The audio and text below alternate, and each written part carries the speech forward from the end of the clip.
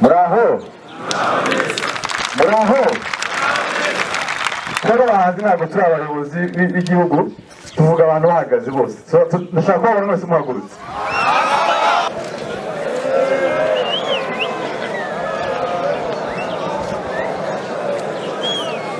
aga aka ga t-shirt nambaye mura- murakabona kanditseho ngo iki umuntu uri busome hano hantu Melody of Umihop.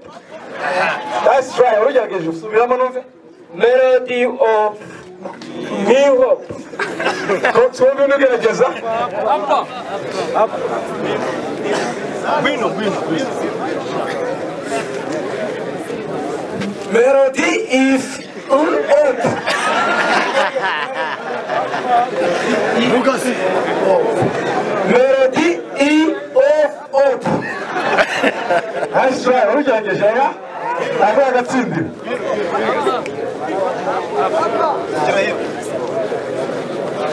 Melody of New Hope. Melody of New Hope. Melody of New Hope. Ndashaka ugerageza agaciro o yuko uvuze iri jambo neza. Melody of New Hope. é isso. Morodi ofu ni yuho. Iri jambo ni iri. Iyi ni e. Morodi ofu ni yuho. Undi ndashaka kumva ugerageza. Melody i u op. Melody ofu op. Soma?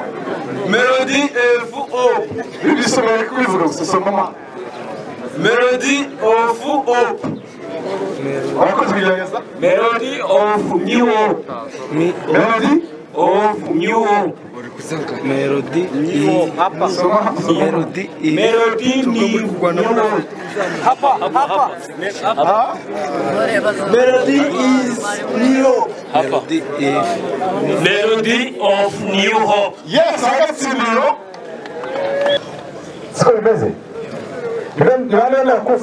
gutanga ibyiringiro hanze hari. Bazamuha ibiganza ndashaka kubabona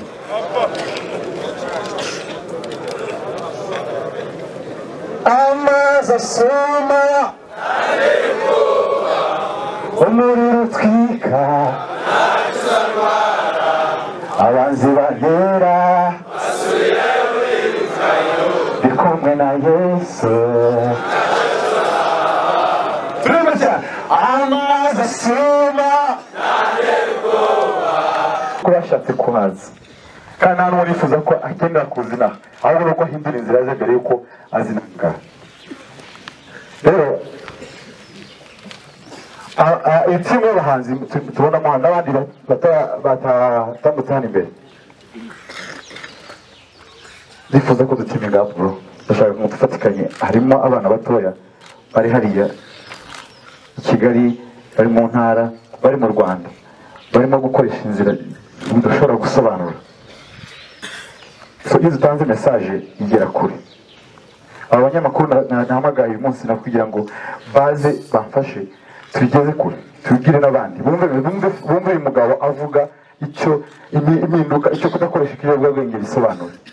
Rero kuba hano kwanyu n'iyi mesaje murimo gutanga sinifuza ko kuba wageze warahageze ariko ndifuza kuba impinduka yawe igiye guhindura abandi. So imana ibagirire neza imana ibafashe. Reka mfate ifoto n'aba bagabo. Abafite ah, ibikorwa bashobora kuba ba- bayitojemo aba- abakora kompiyuta ababaji n'ibindi byose.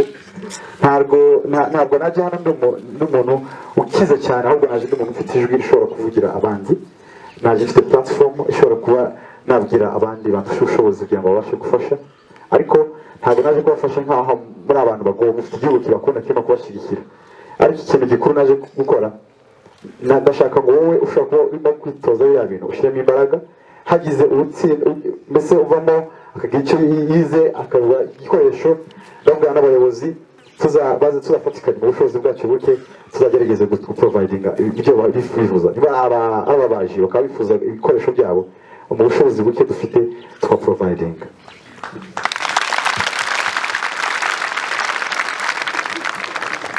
yaba ari aba- ari abantu bifuza gukora izindi activity harimo computer science cyangwa se mukaba mwifuza gukoresha amakompiyuta Ah, ni ahantu ku isi ishobora kuba ishobora yabona ibyo bintu nubwo njye ntabibona nk'um- nk'umuhanzi ariko nanjye bushobozi buke mfite nzagerageza gutanga ibyo bikoresho kugira ngo aba- abarimu biyongereho cyangwa se abantu bakore bakoreshe ah, itumanaho byoroshye.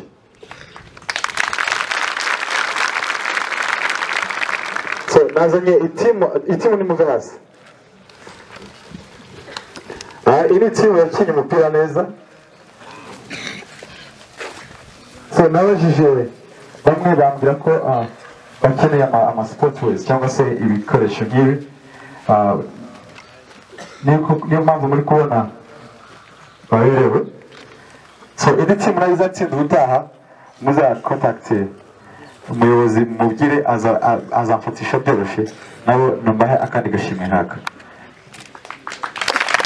Rero nimutangira gukora ibikorwa nk'ibyo mu- mu- muzava hamwe mwitoje ikintu kizima kizavamo kizagutunga mu gihe uzaba urimo hariya siko bimeze? Mu kintu kintu ushaka kumufata.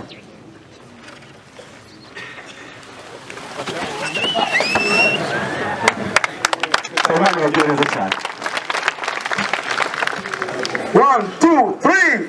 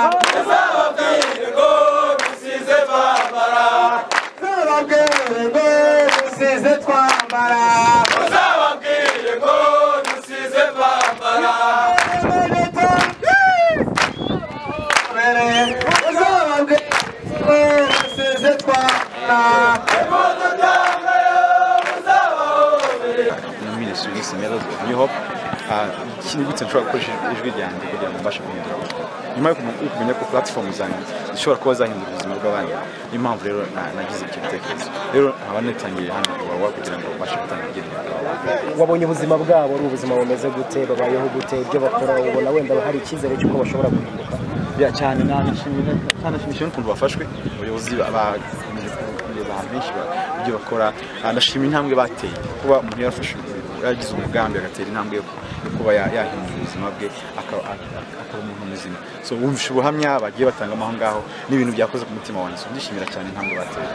Ni- ni cyo wabwira abantu bakurikiye televiziyo rwanda?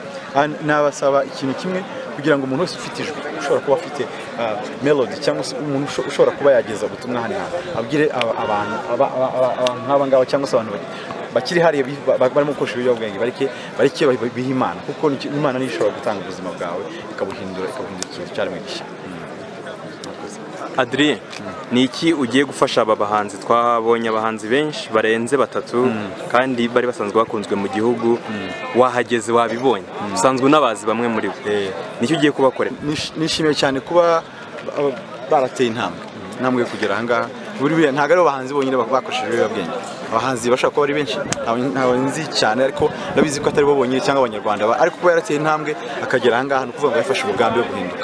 Rero umuntu nk'uyu ufite ubuhamya nka buriya ndifuza kuba nabakorera indirimbo ivuga kuri ibi bintu. Njyewe naganira na- bamwe naganira na Kami naganiriye na- na- na- n'abariya bahanzi bandi bagenzi be bose numva bafite message yo itanga ibyiringiro kandi niyo mugambi mfite rero mu gihe cyose bashobora kuvamo ahangaha nzabafasha muri music yabo kugira ngo babashe gukora indirimbo ishobora kuba yahindura urubyiruko ruto rukirimo gukoresha ibiyobyabwenge hanze hariya niki cyagupushinze? Kugira ngo uve muri amerika ugere hano iwawa Ah, nariyazinze ko indirimbo zonyine zidahagije. Ku- kuririmba gusa nta- nta- ntabwo ari- bwo butumwa umuntu ashobora gukoresha. Ariko igikorwa nasanze mfite ijwi nasanze platform ishobora kuba ya- yahindura ubuzima bw'abandi bantu. So aba ariyo mpamvu numva ibintu byo kuririmba gusa no kujya mu makonseti kigali bidahagije ahubwo numva ngomba gukora gukoresha ijwi ryanjye nk'umunyarwanda cyangwa se nk'umukristo kugira ngo ntange ibyiringiro ku muntu wese ushobora kuba abuze ibyiringiro. Ubwo nugera muri amerika aho uba nihe mesaje uzaha abantu uzahasanga kugira ngo benshi barenze wowe baze turusheho guhindura Um, ni umugambi natan- natangiye ntabwo ari no muri amerika honyine ahantu hose nzabasha kugera nzagenda mbibutsa guhaguruka kugira ngo dufatikanye kurwanya ntitwemere ko umunyarwanda cyangwa se umwana w'umunyarwanda cyangwa se umu- umuntu ageza kuri iyi level yo kujya muri muri rehab center.